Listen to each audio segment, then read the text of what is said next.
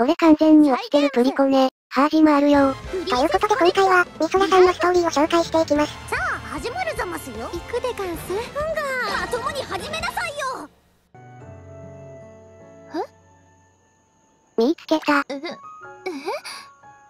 騎士さん私を探してくれたんですか？どうして？世界中の女の子と仲良くするのが僕の夢なんだ。いい加減にしてくださいね。この間ちゃんと言いましたよね。騎士さんのこと。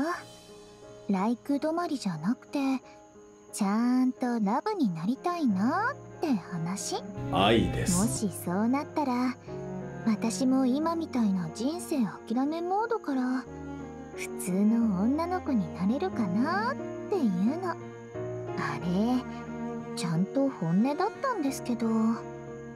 騎士さんたらひょっとして信じてくれなかったんですか？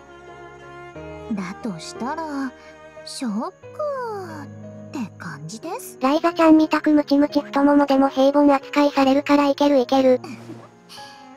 そんなに傷ついてないですから謝らないでくださいこれまで敵だった相手の言葉を信じろなんて無理ですもんねあとあとこれはあの時には言わなかったですけどもし本当に騎士さんに恋することができたらきっととってもとっても楽しそうだなって思いますし高木も頑張ってるそ。れにその恋はきっと実りません？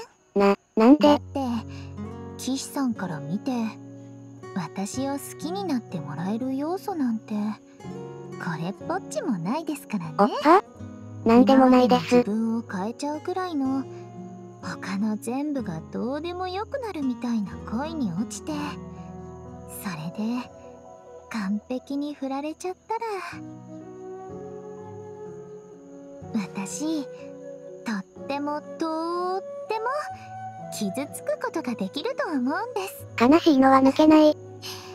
素敵。どう転んでも絶対楽しいんじゃないですか。こんなのって。ちょっと特殊な趣味をお持ちで。うーん。そんな顔されちゃうってことはやっぱりおかしいんですよね。私。前にランファさんには言ったんですけど私始めたことをどう終わらせようかなって結構悩んでた時期があって騎士さんとかランファさんとか私の好きな人が私を終わらせてくれるならそれってとってもいいなって思ってたんですつまり破滅願望。結局皆さんお人よしすぎて私のことなかなか恨んだり憎んでくれなくてうまくいかなかったですけど。はい恨まれたかったのか。私憎まれるのって嫌いじゃないんです。なんだか自分のことを正しく扱ってもらってる感じがして無意味さんみたいな皮だけじゃない。本物の悪い子の私は許されちゃダメなんです。もっと憎まれて傷ついてひどい目に遭うべきなんです。ハッピーエンドがいいよな。超能力の実験体としていろいろやらかしちゃう前の私ならそうだったかもですけどね。そうですね。もし私がエスパーガールなんかじゃなくて誘拐もされてないごく普通の女の子だったら他の子たちみたいに普通に騎士さんと出会って普通に騎士さんラブになるルートもあったかもですけどたられば言っても始まんないですからね。今からでも遅くないんだよな。も私としてはどうしたらもっと騎士さんラブになれるか考えたいなーっクスベリーケーキを食べよう。魔物とかに襲われてるところを騎士さんがズバーって助けてくれるとか？でも、その辺の魔物には私負けないですし。岸さんと協力して、何かすごいピンチを乗り越えるとか？吊り橋効果的な？でも、大抵のピンチは超能力で何とかなっちゃいますし。薄い本で出てくる謎能力で封じてくるサオヤクくん。他には、例えば、世界が滅亡しちゃう直前とかで、それでも騎士さんが私のことを気にしてくれたりとかしたら、キュッてしちゃうかもですけど。なお専用エンドがある模様。それこそ、たらればって感じですし。ああ、難しいですね。誰かをラブになるのって。あ、でもでも、騎士さんがこの場所まで私を探しに来てくれたのは、とっても嬉しかったですよ。よかった。さっきはびっくりが先に来ちゃって、気づくのが遅れちゃいましたけど、考えてみると、これって結構、キュンに近いかも。デートはここからが本番だ。見てください、騎士さん。今日の夕日、とっても綺麗じゃないですか？なんか静かですね。はあ、そうですね。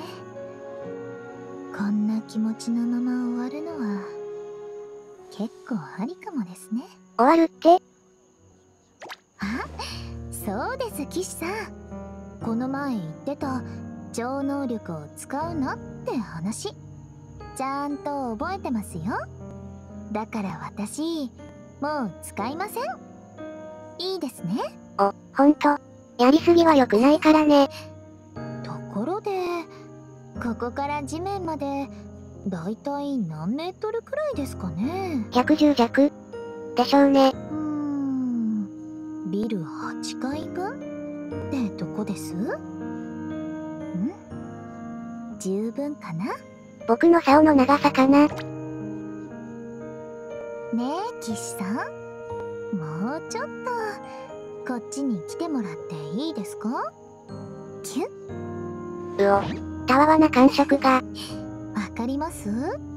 私のハート、ドキドキしてるの。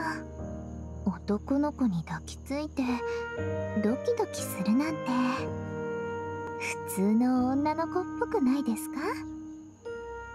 なんだか、生きてるって感じがしてきました。この後普通の男女ならこのまま一緒に、終わっちゃいましょうか。